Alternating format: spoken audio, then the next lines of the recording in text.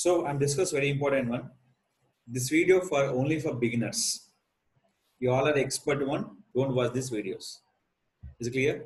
The beginner guide is called how we can creating for Instagram account without using for email and phone numbers. So first of all, selecting for Instagram. Some people asking one question. So how we can creating for Instagram account with the different different options. Once log in your Facebook, the automatic will be configured by Instagram account with your Facebook details. No need writing for your phone number and email address. Don't sign up with the phone number and email address. This will be conflict for which one? Your Facebook account.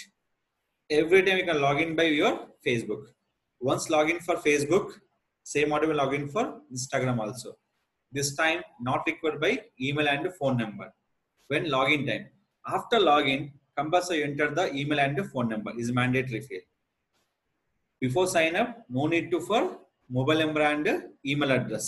Sign up time.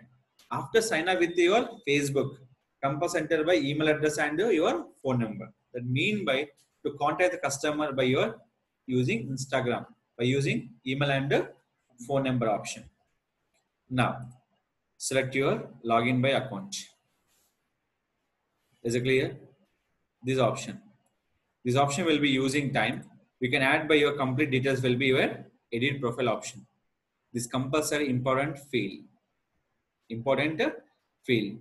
This will be mandatory for your Instagram account where you can call edit profile option. Website link, biography, number and we can use the email address. Every options. Is it clear? When you sign up time, no need by email and phone number. After logging with your Facebook, we can using for email and phone number compulsory mandatory field.